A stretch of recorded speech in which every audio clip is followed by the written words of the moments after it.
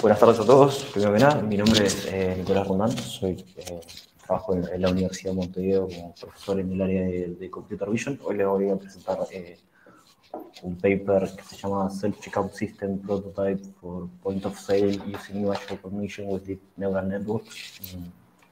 Un, título un poco largo, pero les voy a explicar de qué se trata. Este, este paper lo escribimos en conjunto con Jimena Fernández, Nicolás Ferro, Romina Salveraño Mariana Eugenia Rodríguez, eh, Rafael Sotelo, que está por acá en, el chat.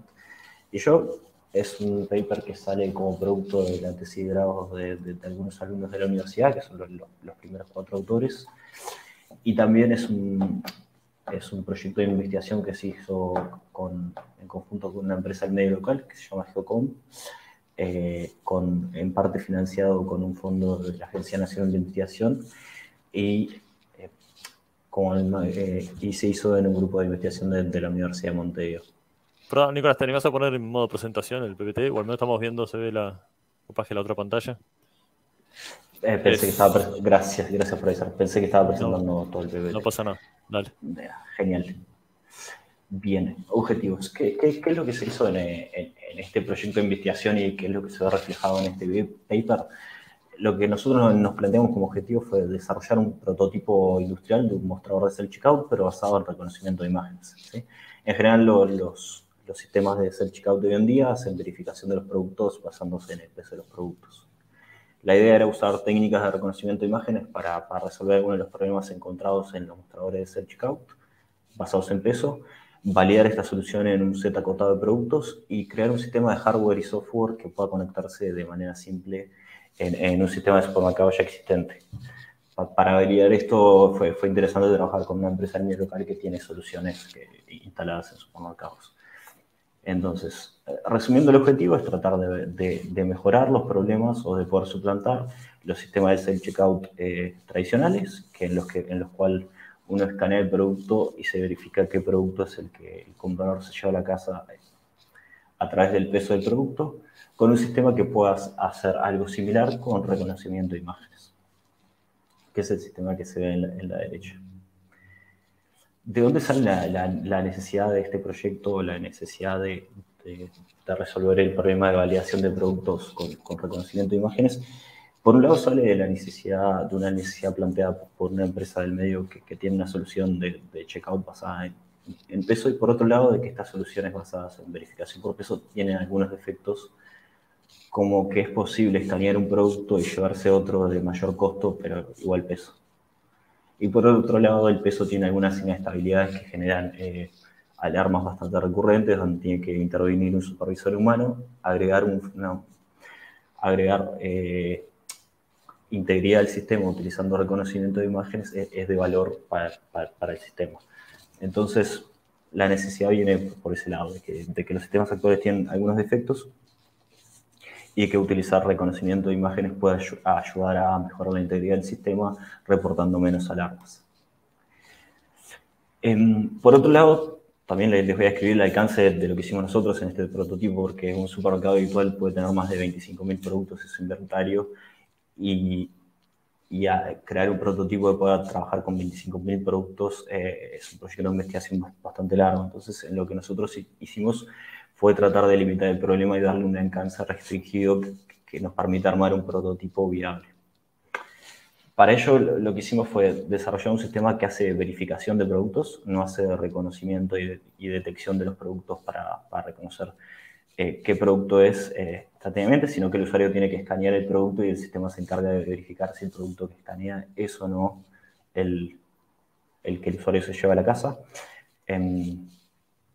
Esto, esto lo menciono porque hay soluciones que hacen todo automáticamente, se dan cuenta qué producto es el que el usuario está tomando o, en, un cajero, digamos, el checkout, eh, permiten simplemente con que el usuario apoye el producto, saber qué producto es, agregarlo a la compra y, verificarlo.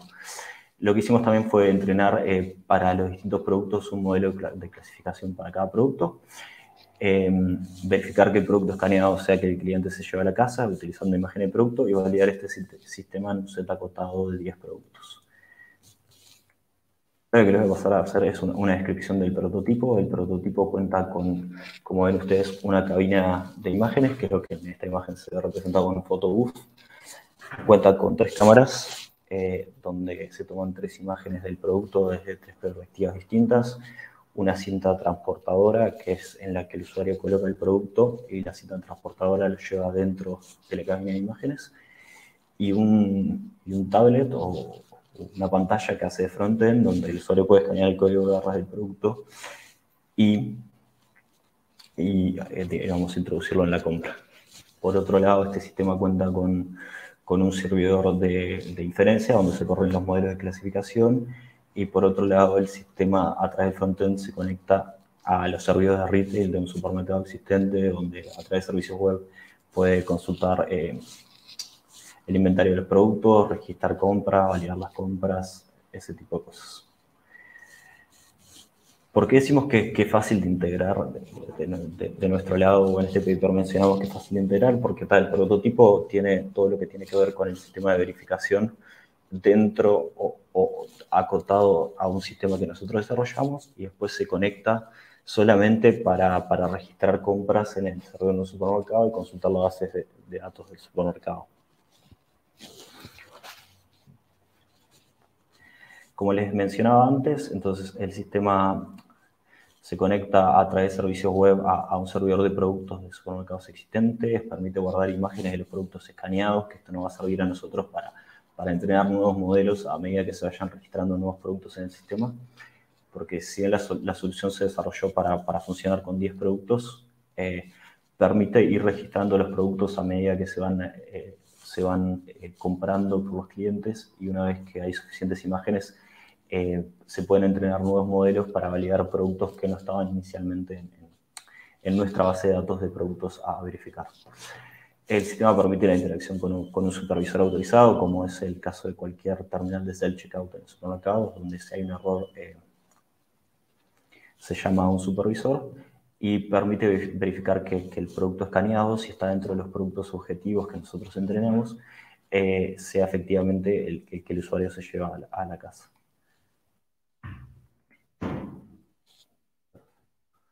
¿Cómo es el, el, funcionamiento del sistema o cómo es el, el flujo habitual de, una compra en este sistema? Básicamente comienza con el usuario eh, escaneando un producto en, la, pantalla del frontend que vimos en el tablet. Después al final de la presentación le voy a mostrar algunos videos de cómo funciona el sistema. El, sistema, el, el usuario escanea el producto, lo, lo apoya sobre la cinta transportadora este producto se lleva adentro de la cabina de imágenes, donde se toman tres imágenes del producto. Si existe un modelo entrenado para este producto, se, evalúan las imágenes, o sea, se hace una inferencia de estas tres imágenes en, un modelo de reconocimiento de imágenes. Si no existe un modelo, se guardan las imágenes que van a ser después luego utilizadas para entrenar nuevos modelos. Y si se, toman tres imágenes del producto, si, tres de si dos de las tres imágenes se validan correctamente, entonces se verifica la compra y no hay ningún problema y se agrega la compra al carrito. Si, si no es el caso, si no se verifican dos de tres imágenes, eh, se llama un supervisor y el supervisor humano se encarga de, de validar el producto. Y así sucesivamente con todos los productos que se vayan agregando a la compra. Esto en cuanto al, al, funcionamiento de este prototipo que desarrollamos. Por otro lado, ahora les voy a hablar un poco de, cómo se hizo el reconocimiento de imágenes, qué datos usaron, cómo se entrenó y qué resultados obtuvimos. ¿Sí? Para, para trabajar en, en, este prototipo decimos trabajar con un conjunto acotado de 10 productos. Sí, lo que hicimos fue tratar de, de tener algunas condiciones en los productos que nos permitan eh, validar algunos cuestionamientos, es decir, tomamos productos similares como es un paquete de arroz, un paquete de pasta que tienen packaging similares, eh, paquetes de galletas que también tengan, eh, que sean visualmente similares. Y tomamos algunas botellas que si bien en color no son visualmente similares, en forma sí lo son, y tratar de validar que nuestros modelos sean robustos a, este tipo de, cuestiones de similaridades de color o similaridades de forma. Estos son los 10 productos asociados eh, que utilizamos para entrenar. Eh, un paquete de arroz, pasta, galletas, galletas dulces, sal, refrescos, latas y cajas. Que utilizamos, uno, uno, de los cuestionamientos que decimos es que en realidad, o sea, al, sistema tener que funcionar con muchos productos hay que tener algunos eh, modelos de clasificación que sean livianos, optamos por utilizar redes neuronales eh, lightweight que son desarrolladas para, trabajar en, dispositivos móviles y entrenar, eh, entrenar no, tomamos un backbone preentrenado de un modelo que se llama diseñado para, para, dispositivos móviles y lo usamos como extractor de características para poder eh, extraer características de las imágenes de los productos y poder clasificarlas Luego de este vector de características, poder entrenar un clasificador que nos permite distinguir si se trata del producto en cuestión o no. Entonces, em, tomamos este, esta red como base, le agregamos algunas capas en la parte superior, que es la que nosotros efectivamente entrenamos en, este modelo, y, y, usamos esta arquitectura para clasificar las imágenes de entrada. Eh, a modo de ejemplo, las capas que agregamos para los clasificadores no son nada extraño. Agregamos algunas capas de pooling, capas densas y regularización a través de dropout para poder generar un modelo, un modelo liviano que nos permita clasificar si se trata de, un producto o no. Em, lo otro que hicimos fue entrenar un modelo para cada producto. Ahora voy a comentar qué datos usamos y qué técnicas de entrenamiento usamos. Em, para evaluar si el producto que estamos viendo se corresponde o no con el producto escaneado. Eh, regularizamos el entrenamiento usando Dropout y Data Augmentation. Eh, data Augmentation hicimos transformaciones geométricas, simplemente sobre la imagen. Eh, y algunas cuestiones como esquemas hechos a medida del long rate para que los modelos se entrenen mejor. Y la función de, pérdida que usamos es un binary cross entropy clásico para, para entrenar modelos de clasificación. Lo otro que hicimos fue generar 10 eh, datasets de imágenes para cada uno de los productos. Se tomaron 500 imágenes dentro de la misma cabina de imágenes que, nosotros teníamos para respetar el hecho de que las imágenes de entrenamiento sean, vengan de la misma distribución de las imágenes en las que se va a testear. Entonces, si se va a testear dentro de este espacio controlado que nos permite tomar imágenes controladas de los productos, entrenaremos nuestro clasificador usando imágenes similares. Por lo tanto, tomamos 500 imágenes de cada producto y luego usando técnicas de data augmentation generamos eh, datasets balanceados con 5.000 imágenes positivas y 5.000 imágenes negativas. A modo de ejemplo, podemos hacer un, dataset con 5.000 imágenes de paquetes de arroz de la misma marca contra 5.000 imágenes del resto de los productos y con esto entra nuestro, nuestro clasificador. Este es un ejemplo de, los datos utilizados, vistas de los mismos paquetes desde distintas perspectivas.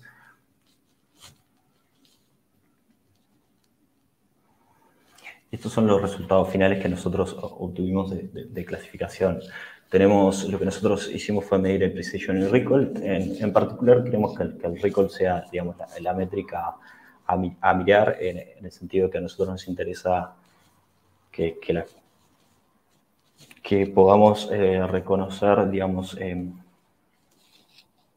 cuando, cuando, o sea, lo que queremos evitar es que un, que un usuario se lleve un producto que no es, por lo tanto nos interesa validar correctamente o reconocer correctamente siempre que, que, el producto que tenemos nosotros es el que, el usuario se lleva a casa. Eh, y estos resultados en realidad nosotros los reportamos sobre un set de testing de imágenes, o sea que es eh, la performance de nuestro clasificador sobre una sola imagen la realidad es que en el, en el, prototipo final se utilizan tres imágenes para validar un solo producto y habría que construir un, dataset con tres imágenes por producto para, validar estas mismas métricas eh, en ese contexto. El proceso de clasificación es simple. En la imagen anterior podemos ver que en la mayoría de los casos eh, las métricas de precisión están por arriba del 96-97% y las métricas de recall están por arriba del 95%, salvo en el caso de las, imágenes de pepitos que andan cerca del 79-80%.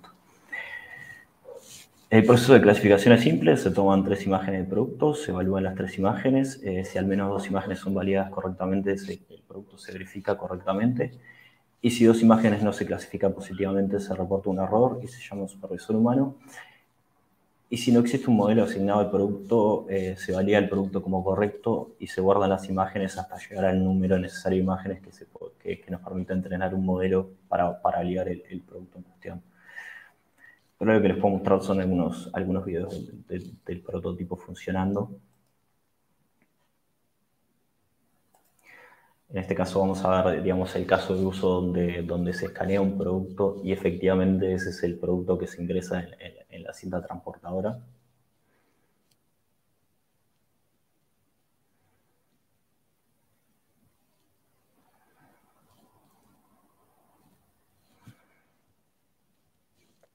Ahí se valió correctamente el producto, no hubo ningún error. Y en este caso, ahí ocurrió un error, digamos, al ingresar el producto, pero si vamos un poco más adelante, se ingresa el producto.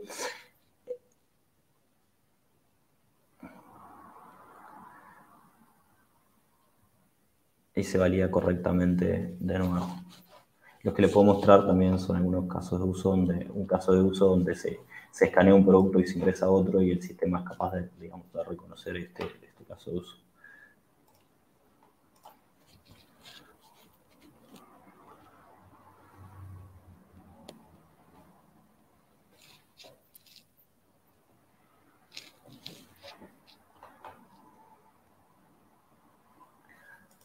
Si pueden ver, se escanea un producto que es una, botella de Coca-Cola, pero se ingresa a otra botella distinta en este caso el sistema es capaz de validar que el producto que se ingresó no es el mismo que, fue escaneado. Así que por ese lado podemos ver algunos videos del prototipo funcionando y por otro lado les, comentarles, digamos, que este es un producto que, se desarrolló, se validó, con una empresa que tiene productos en checkout. Lo que sí encontramos es que tiene algunas limitaciones el prototipo, es que algunos productos intrínsecamente se venden al peso, carnes vegetales y en realidad se puede validar que sea el mismo producto con imágenes, pero no el peso, que sea el peso correcto. Por lo tanto, habría que combinar una solución de peso con, em, con imágenes para tener un prototipo que sea lo más robusto posible. Y por otro lado, que usar un modelo para cada producto no es escalable a la cantidad de productos que hay en inventario de, de supermercados y que en realidad utilizar una solución que utilice un único modelo o algunos modelos en, en cascada eh, algunos modelos de clasificación en cascada sería más deseable. Eso es todo, muchas gracias. Eh, las conclusiones em, del sistema fue que desarrollamos un prototipo que funciona, que permite verificar productos en el supermercado eh, con procesamiento de imágenes. Tenemos eh, valores de precisión del 95% y recall mayores al 79% para todos los productos. Y el sistema se construyó y se programó en conjunto con una empresa que trabajan en puntos de retail como supermercados y podemos conectarnos a, hacer supermercados existentes. Muy bien, muchas gracias Nicolás. De nada. Estamos casi en la hora ya de la sesión. Sí, estamos justos, estamos justos. No sé si alguien quiere hacer alguna preguntita, si no los, liberamos para, para ir a la otra, a la otra sesión. Este, nada, Nicolás, muchas gracias, estuvo, estuvo muy interesante. De nada, un gusto. Hasta luego. Bueno, saludos a todos. Muchas gracias. ¿eh?